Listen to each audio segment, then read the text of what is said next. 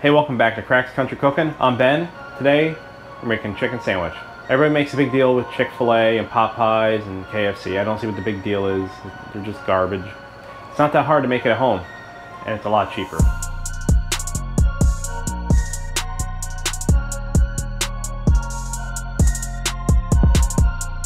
We're gonna start with the chicken.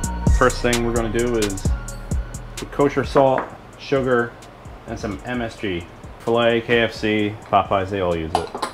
And we're gonna take our chicken thighs, cut off any excess fat.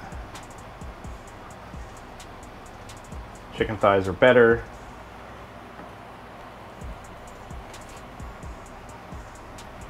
And place your chicken in a container.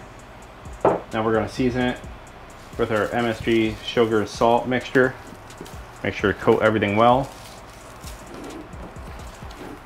All right, we'll place this chicken into the fridge while we get the other stuff ready. All right, in a medium sauce pot, we're gonna put in distilled vinegar, water, sugar, salt, MSG. Stir that up, bring it to a boil. Now we'll take our English cucumber, unwrap it because it came individually wrapped.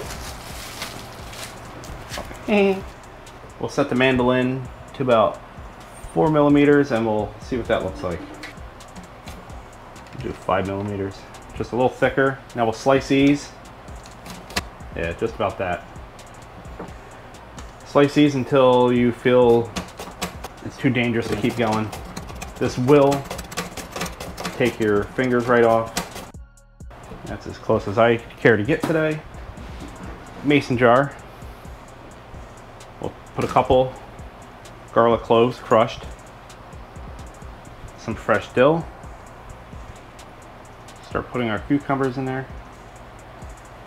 Sometimes they roll away on you. Right as our pickling liquid just starts to boil, take it off and then we can pour it in to our mason jar. All right, we'll let that cool. Now for our buns, we're gonna start by making a tangzhong. So we got some water, milk, and some all-purpose flour. Less than a minute over medium heat.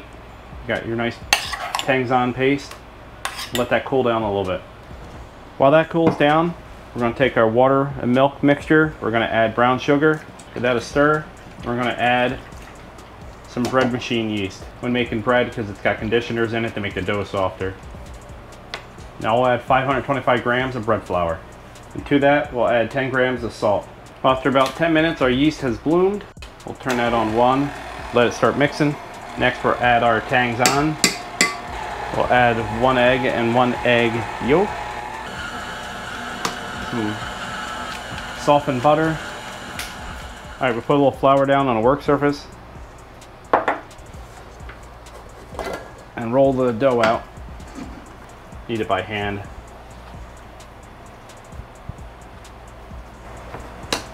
All right, that looks good. Now we'll place it in a greased container with a lid and let it sit for an hour to hour and a half. Now that our dough has doubled in size, we can roll it out onto a work surface. Bring end over end, roll over. We're gonna go with 110 gram pieces.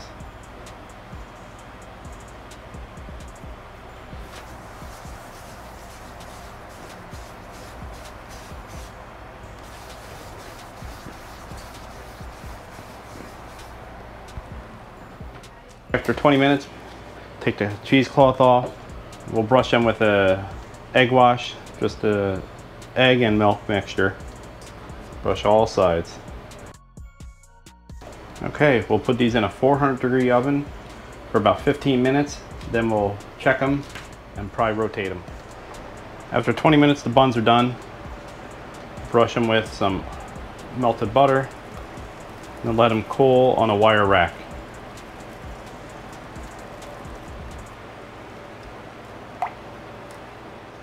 Now let's get our chicken ready. Now it's done brining. Place it right in the egg mixture. Make sure it gets coated on both sides. Also, don't want to forget, you want to put some of this egg mixture into your flour. Just a couple tablespoons.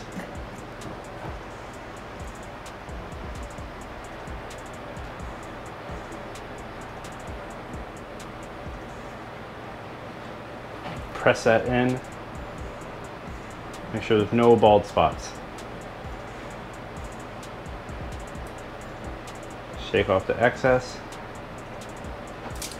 Place that off to the side.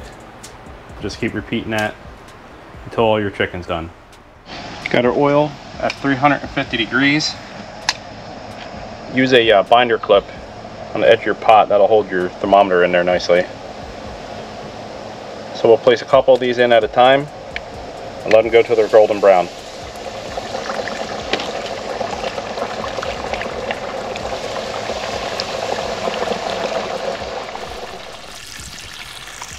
After about five minutes, they'll start to float. Nice golden brown. They're ready to sit on a wire rack and cool down. Drain. Just keep repeating this process till all the chicken's done.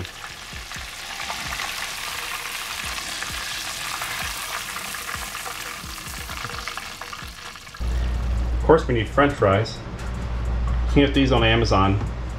It's way easier than uh, slicing it by hand. Need a little bit of muscle.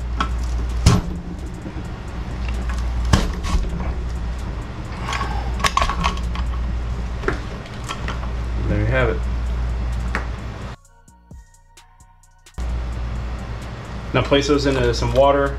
I'll keep them from oxidizing. Rinse off some of the starch. After 20 minutes, I poured them in a strainer, rinsed them off. Now we'll place them on a parchment paper lined baking sheet. Bake them at 400 degrees for 20 minutes. Then we'll remove them from the oven. Let them cool on the counter for 15 minutes and place them in the freezer until we're ready to use them. Now it's time for the french fries. Nice and frozen. Split them in half. We'll do two batches. We'll, we'll throw this batch in first. All right, these got a good color on them. We'll let these drain on a wire rack. Oh no, I lost one. We'll let this oil catch back up and we will throw the second batch in. Once the second batch is done, I let the oil come back up to temp, 375. And now I'll throw all of them back in just to crisp up. Just for about a minute or two. For season our fries, I'll put some kosher salt, granulated garlic, a little bit of pepper, paprika, and some granulated sugar. Mix that all up. Point, I'll pull these out, put them on a wire rack.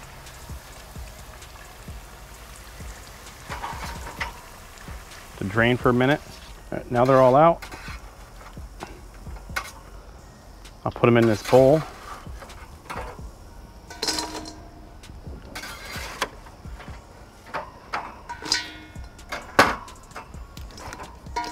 Season them with our french fry seasoning. Well, now we're ready to build our sandwich. Let's get started. For a sauce, we're going to use some mayo and some whole grain mustard. We go with that. Take our bun, beautifully toasted. Put a little bit of our mayo, mustard, dressing on there. I hate Chick-fil-A serves theirs dry.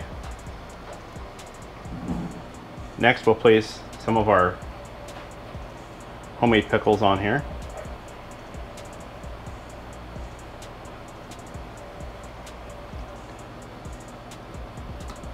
Some of our chicken. Tomato. A little bit lettuce.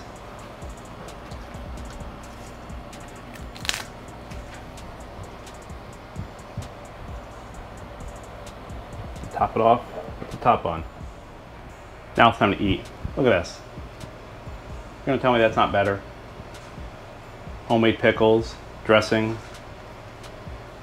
breaded our chicken ourselves.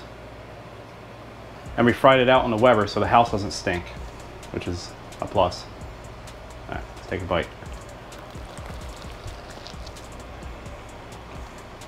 Mm. My word, that is excellent. It's ridiculous. Can't forget the french fries. Perfect. All right, ready? Three. One, two, three. Take a bite. It tastes good. Is it good? Mm-hmm. Is it better than Chick-fil-A? Daddy, good. Yeah. I like it. You want to try my pickle I made? Ah. Pickle? You want to buy a piece, piece of chicken? Good.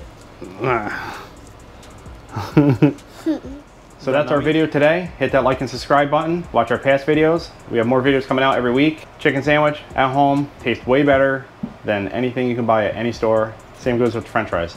You can follow us on TikTok, Instagram, Facebook, Threads, of course YouTube. Go to krackscountrycooking.com. You can get our seasonings and rubs there. There's recipes. It's dinner time. See ya.